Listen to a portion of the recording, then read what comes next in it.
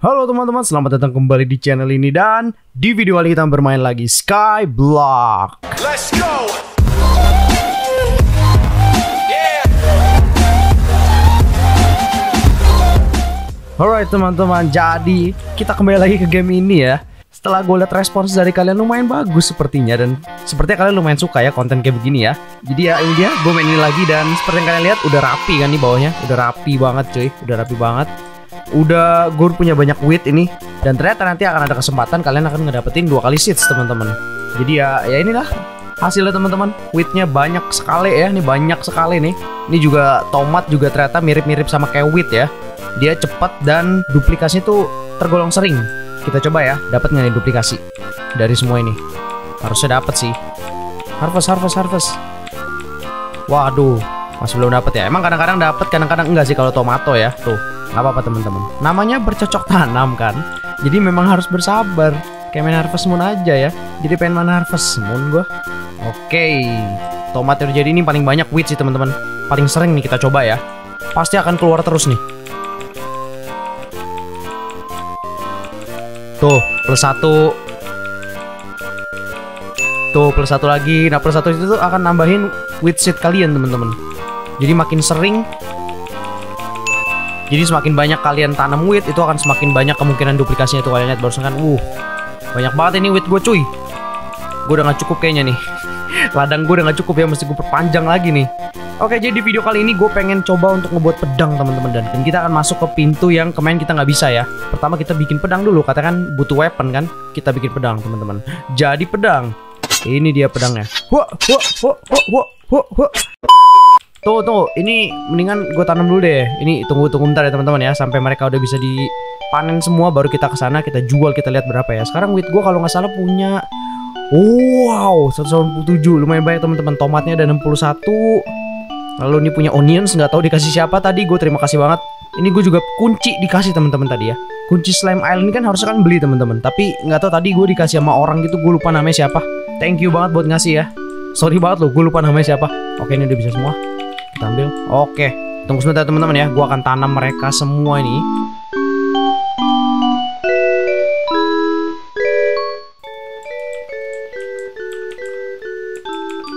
Uh, dikasih onion seeds, mantap jiwa. Ini apaan ya? Gue dikasih kayak apa nih sumbu kompor? Nggak tahu gue. Apa nih? Dikasih sama si Camil ya. Thank you, thank you dah. Gue nggak tahu itu apaan.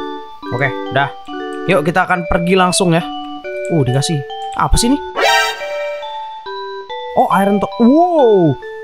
Totem, teman-teman. Wow, kita dikasih iron totem ya. Sebentar. Kalau kita taruh sini apa yang terjadi? Gua nggak tahu nih. Apa yang terjadi? Eh nggak terjadi apa-apa sih. ini buat apa? Oh, jangan di pojok. Wah, mesti taruh tempat luas dong. Kalau gitu nanti deh. Oke, oke. Thank you banget Camil udah ngasih ya. Tuh muncul lagi teman-teman, cepet banget lagi munculnya. Mantap sih. Oke, sekarang kita langsung kesan dulu teman-teman ya. Kita akan coba untuk ngejual habis itu kita masuk ke pintu itu teman-teman, pintu Slime Island ya. Gue penasaran ada apa di situ. Oke, kita jual dulu. Kita punya wheat ada 192 teman-teman. Mantap 900. Jual carrot. Carrot ada berapa? Ya, cuma 6 doang. Ya udahlah 150. Kita jual tomato teman-teman. 400 ya, lumayan. Uh, onion, onion, onion paling mahal sih. Bentar, gue liat totemnya ada apa aja teman-teman ya. Kalau iron totem tuh harganya 4000 coins. Wow, lumayan mahal ya. Ada clay. Oh, tunggu sebentar. Ada wheat, ada tomato, carrot, onion. Hah? Ini apa ya? Ini bisa muncul bibit atau apa nih? Oke, kita akan coba masuk ke sini teman-teman ya. Bentar, kita siapin dulu pedang kita. Kayaknya akan ada musuh di sini teman-teman. Pedang kita sudah siap. Huh, huh, huh. Oke. Ini kan harusnya kalian ngomong ke dia dulu kan? Lalu kalian beli nih slime island key-nya nih. Oh ternyata bisa dijual teman-teman. Ini tadi gue dikasih juga sih sama orang. Gue gak tau buat apaan green slime ball. Oh ternyata tuh ini kayak ada RPG juga ya. Ngelawan slime kali teman-teman ya biar ngedapetin ini ya. Oke deh kita langsung masuk aja ya. Kita udah punya kuncinya kan. Harusnya bisa. Uh. Ke mana kita ini? Oh wow. Oke itu slime kayaknya. Ini tempatnya. Iya ini kayak kayak tempat PVP gini doang sih ngelawan ngelawan. Bukan PVP PVE. Darah kita mana ya? Kita nggak punya darah teman-teman oh itu yang di atas ya gue lupa darah itu ada di atas teman-teman oke oke Ini gimana kalian ini kita bisa? Oh bisa dapat green slime ball. Oke siap. Ini mah kayak tempat apa ya farming kali teman-teman bisa dibilang ya tempat nge-grinding ya. Oke not bad. Ada yang auto click tuh teman-teman di situ tuh. Sepertinya bisa di auto click ini game ya. Asik juga nih kalau bisa di auto click nih. Oh ada yang warna ada yang warna biru cuy. Kalau mau auto click gimana caranya ya? Kita nggak mati kah? Wah, kayaknya harus di tempat itu ya baru bisa auto click ya. Iya harusnya kayaknya harus di tempat itu deh teman-teman baru bisa auto click di atas gitu ya. Coba coba di sini bisa nggak? Harusnya sih bisa. Kita coba ya ini ini kita simulasi buat auto click aja lah. Bisa nggak? Oh kita masih kena serang cuy. Gimana ceritanya bisa auto click ini? Darah gua sampai sekarang tuh kalian lihat. Nggak bisa nih mah auto click cuy. Yaudahlah kita kembali dulu teman-teman. Kita lanjutin bangun tempat kita ya. Gue rencana pengen bikin kastil teman-teman. Jadi nanti kalian tungguin aja kalau kastil udah jadi ya. Atau ya nanti gua akan bikin video time lapse-nya lah. Waktu gua ngebangun kastil. Gila grafiknya sih keren loh teman-teman. Gue demen banget ini. Rumput-rumputnya kalian lihat dah. Bener-bener realistik anjir. Oke, kayaknya cuman segitu doang ya tempatnya. Gue kira gue kira ini tempat yang di atas itu tempat berbeda gitu. Ternyata ya ya ini cuman penghubung gitu doang ya. Oke lah kalau begitu. By the way, gue butuh banget grass sih. Gue pengen ngebangun lagi ya atasnya. Kita harus beli grass teman-teman. Beli grass tuh di sini nih di blocks. Kalian ambil aja. Nah, grass tuh harganya 5. Lumayan mahal sih. Kita beli 50 kali cukup ya. 50 lah ya. Oke, 50 cukup teman-teman. Sekarang kita langsung aja kita ngebangun tempat kita supaya jadi lebih bagus ya. Oke, buset itu batu banyak bener teman-teman. Jadi banyak batu cuy di sini. Ternyata tuh kayak gini fungsinya totem, gue baru ngerti. Nah kalau yang totem apa yang wheat, terus onion totem, carrot totem tuh buat apa teman-teman? Dia akan ngeluarin ngeluarin apa nih bibit atau ngeluarin buahnya? Kalau ngeluarin buahnya ya lumayan sih. Oke, ini akan gue perlebar ya teman-teman. Kita akan bikin kastil di atasnya nanti. Nanti untuk kastilnya gue akan bikin time lapse-nya lah ya. Ini gue bikin perlebar dulu nih. Yang penting bisa naro-naro pohon ya segala macam ya. Karena pohon gue sedikit banget sih. Dan gue gue udah baca komen kalian kalau pohon itu ternyata nggak bisa deket-deket ya. Jadi ya paling jaraknya begini nih. Dan itu totem kayaknya butuh tempat gede deh teman-teman. Kalau tempatnya kecil kayak gini kesian sempit banget tadi kalian lihat barusan kan. Sempit banget cuy. Kita lanjutin lagi teman-teman. Eh yang tadi udah perpanjang sebelah kan ya? Oke, tinggal yang ini berarti.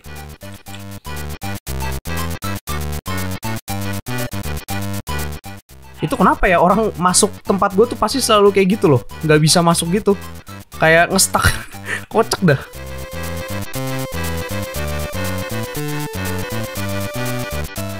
Gue punya gue punya ide deh, mendingan totem kita taruh di bagian bawah aja ya. Setuju nggak? Setuju nggak?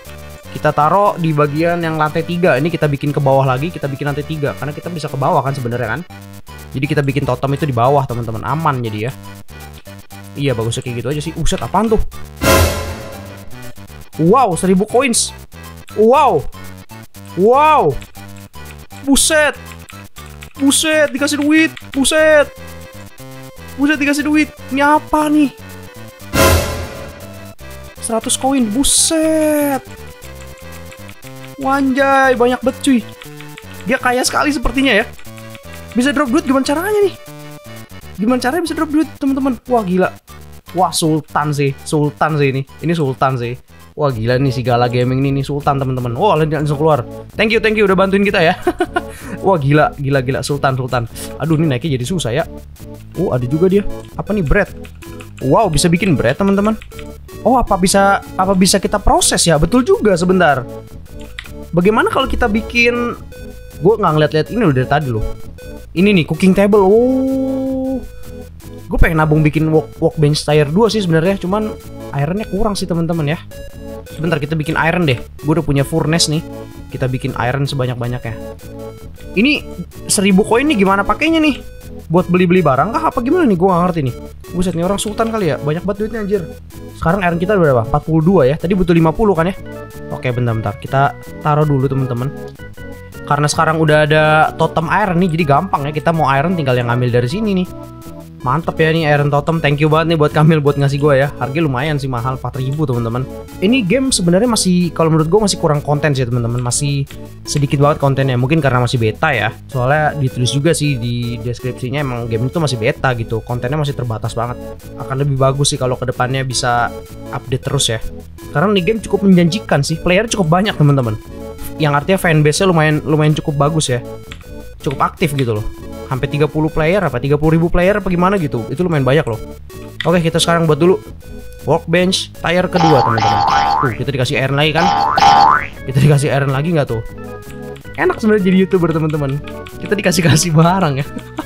Gue dikasih iron dikasih kunci terus dikasih itu tuh onion tadi barusan dikasih totem bode thank you banget dah. Thank you banget buat kalian-kalian semua yang udah support gue ya.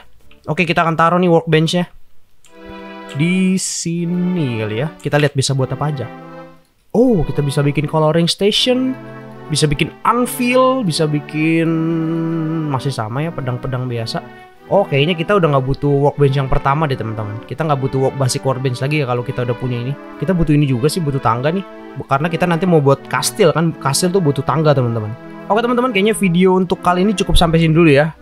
Untuk progresnya nanti gue akan lanjutin lagi gue akan bangun nih kastil di atas ya dan nanti akan gue rekam juga tapi gue bikin timelapse aja ya nggak jadi gue nggak usah komentari kayak gini karena timelapse itu kan karena kan kalau ngebangun-bangun gitu kan cukup lama ya teman-teman jadi mending gue timelapse aja Oke teman-teman, terima kasih sudah nonton video ini. Jangan lupa like, jangan lupa subscribe, jangan lupa juga untuk share ke teman-teman kalian supaya channel kita semakin berkembang dan sampai jumpa di video selanjutnya. Bye bye. Ciao. このジョルノ・ジョバーナには夢がある